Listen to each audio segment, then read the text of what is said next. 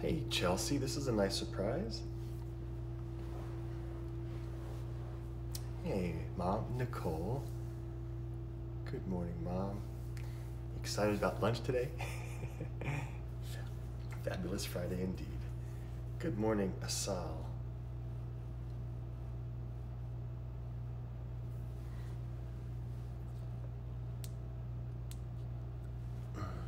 Okay. Someone told me yesterday that I, the camera is too close to my face. Does it seem like I'm like right up on the camera or is this like a good distance? Don't know. I'm glad you're here too, Chelsea. Jez, good morning. I mean, this seems like a good distance, right? Looks proportionate. I don't know. I could go farther back, but then it's my voice won't be picked up as well, right? Hey, Lori. Hey, Celine. hey, Lorena. You're looking to the left, Asal? What's over there? Lucia, good morning. You're good. Feliz Navi Friday. Do, do, do, do, do.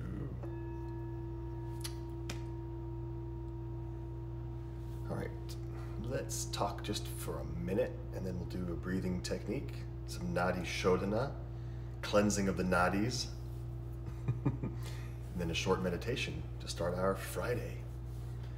Yeah. Does anyone else feel a little anxiety besides me about everything getting so busy all of a sudden? Man, this quarantine, I gotta say that it was a blessing. I loved the slowdown. And this is my challenge to keep things as smooth and calm as possible moving forward. But it, it's a challenge. It, everything's exciting, right? We get you're busy all of a sudden. It might just be me, but so this meditation becomes even more important when the world reopens.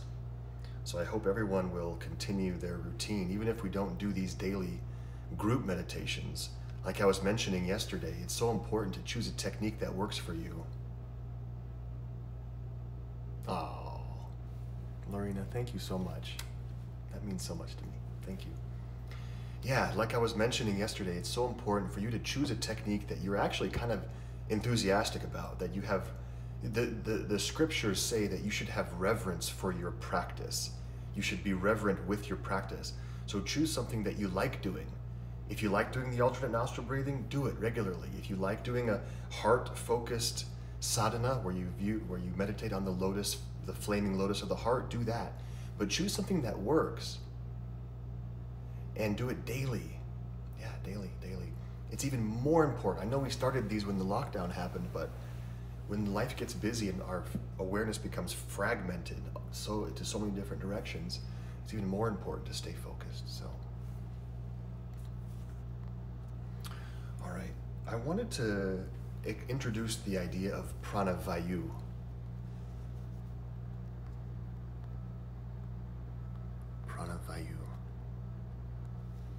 Okay. You can practice saying that. It'll be on your quiz later. Pranavayu. Vayu means wind. And there are five pranavayus, five of them. So you've heard me mention before that in our body we have energetic channels. They're etheric. Modern science doesn't um, recognize them per se, but they do recognize capillaries and veins and arteries and um, glandular systems and nerve uh, nerves in the body. So the yogis tell us that each one of these bodily systems has a corresponding energetic channel that lives in the etheric realm. So you've seen our chart of koshas, the different layers of being. Well, the physical body is only one seventh of ourselves. The next level up is our pranic sheath, our pranic kosha, also known as the etheric body. So in the etheric body, which is almost physical, it's just slightly less dense. It's the realm where prana lives, right? And some people who have very sensitive eyes can actually see prana. You can see people's glow. You can see their energy. Of course, we can sense it with other faculties, but the eyes can actually sense it, some people, if they're refined enough. It's just different light spectrums. It's, you know, the entire spectrum of wavelengths of energy, our physical eyes only perceive a very small portion. So why wouldn't some people's eyes be more sensitive? That, that's a siddhi, a superpower, right? So it, each of our bodily systems has a, a, has a corresponding energetic channel that flows with it. And if prana doesn't flow, the system doesn't work. Okay, it's like um, you know a system of, of hydraulics in a tractor or in a vehicle. You know you have gas lines and oil lines, and if any one of those lines becomes blocked, one of the systems doesn't function. Same concept. So that's why we practice this nadi shodhana, cleansing the nadis through alternate nostril breathing and through breathing intentionally. And it's said that all these nadis, all these energetic channels, generally have prana moving in and out of them in five ways, in five winds. And those are the prana vayus. Hey, Bahara, good to see you. Are you nine hours ahead in Germany? I think you're nine, maybe eight. So the, the five uh, prana can be intentionalized. Now, when I say intentionalized, when you focus on them, you intensify them. And when you intend to optimize a certain wind or a certain movement of prana in the body, you optimize that or work with it or heal it or open it, so to speak. We've talked many times about how where your energy go, where your mind and thoughts go, energy flows. So just quickly, we're going to have a, another multi-day little continual lesson on this, but I want you just to see this thing here, and I'll show this again tomorrow. So this is a chart of the five prana vayus. Udana, prana, samana, apana, and vyana. Now this, this particular chart comes from the Hatha Yoga Pradipika, that really thick book of sutras on physical yoga.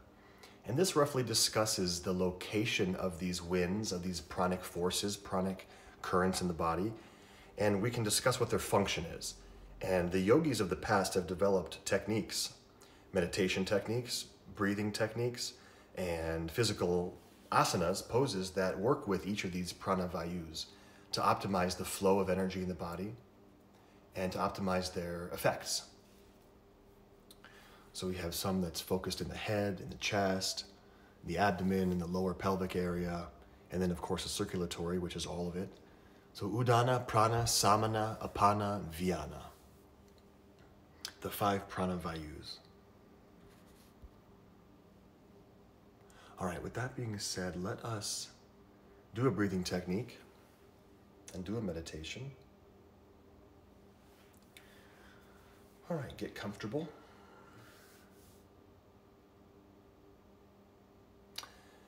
Chelsea, exactly. That uh, Kundalini mantra or chant is honoring the method by which prana moves in the body. Exactly. It's honoring and intentionalizing, like I was saying. So energy moves in and out mindfully and freely. Please sit tall. Adjust your shoulders and your spine and your head and your face. Allow the eyes to close.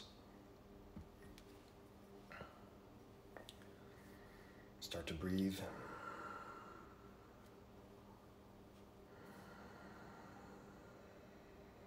Constrict the throat slightly for Ujjayi breath. So we'll do a few rounds, a moment or so of pure breathing, just to get the energy flowing in the body and get the mind a little bit smoothed out.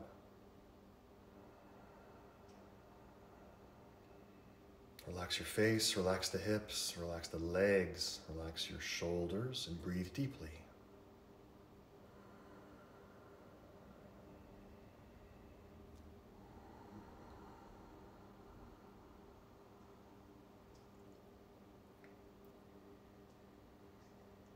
Now, the spine houses our central nadi. It's called Sushumna nadi. This is the most prominent, the most energized, hopefully, energetic channel in the body. And then there are two more energetic channels that are also important, but slightly less prominent, and those are Ida and Pingala. And those start at each nostril. And those two nadis, as you inhale prana intentionally, those nadis move through the brain and then crisscross down the spine. And where they crisscross, there's a chakra.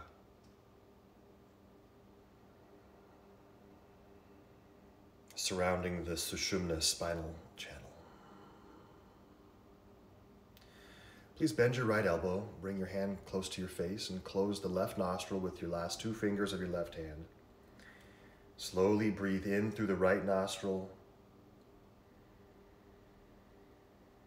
Close the right nostril, breathe out through the left nostril.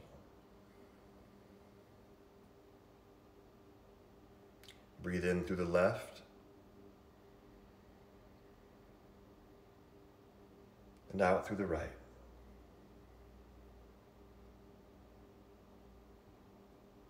In through the right.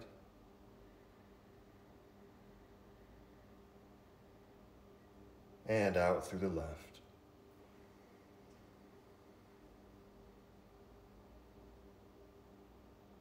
In through the left.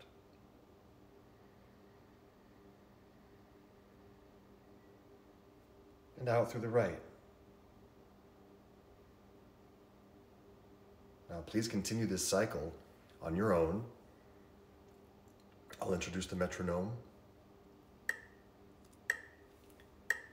Make each breath go for at least five or six seconds. At least five or six clicks, but make the inhale and exhale the same. If you can do eight, Try that. But we're moving from empty to full with each breath.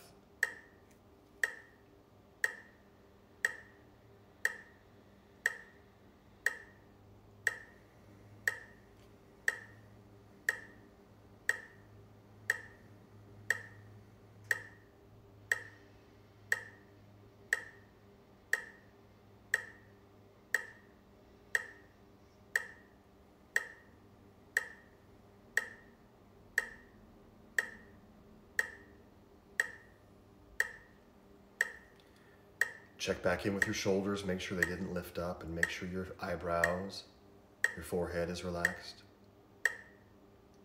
Continue with Nadi Shodhana. Put your attention on the pathway of Ida and Pingala Nadi.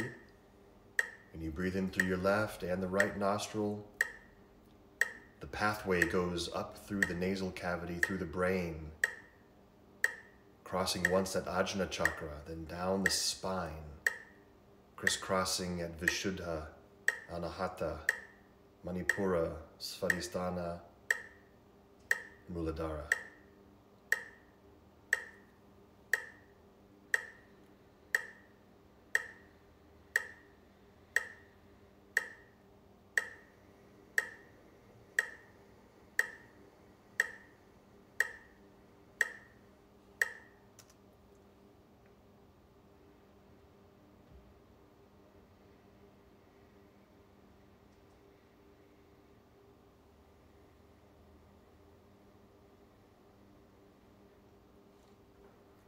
If you choose and if it's comfortable, once the breath is very smooth and very refined, introduce slight retentions at the top of each breath.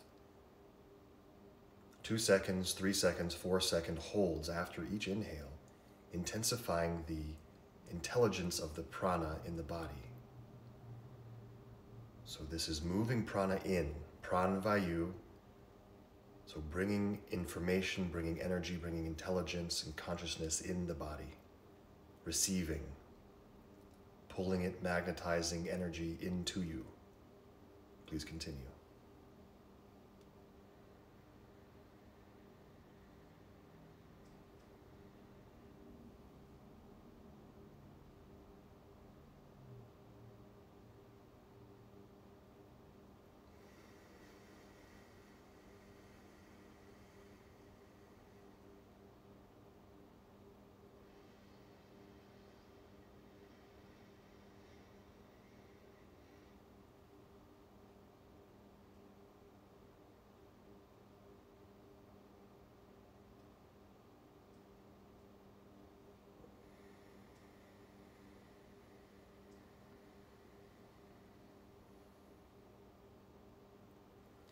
Let's do one complete cycle, one more complete cycle.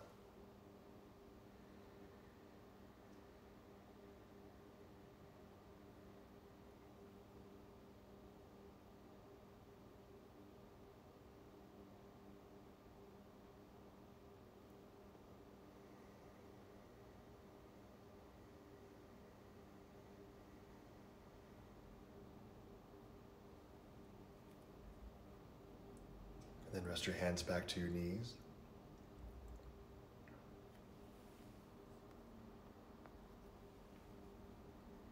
Be still. Let the breath become very subtle.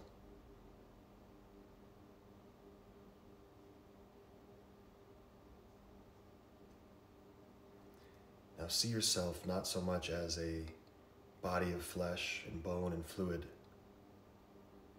but more so as circling, cycling, radiant energy.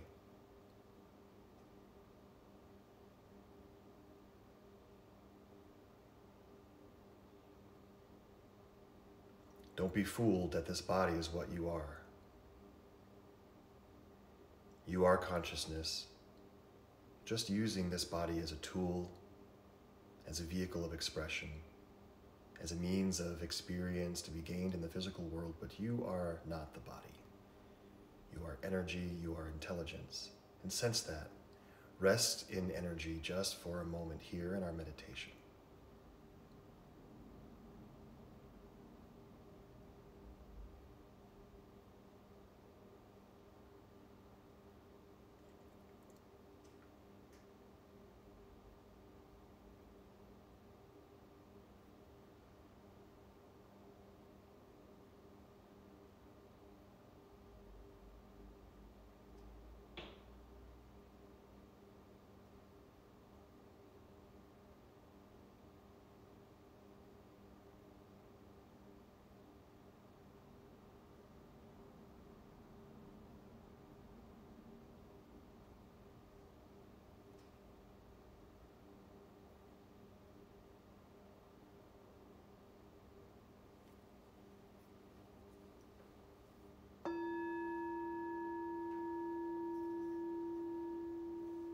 Let's inhale together.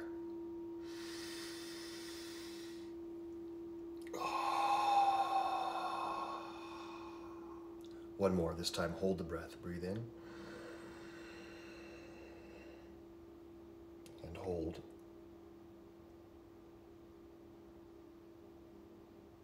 And release.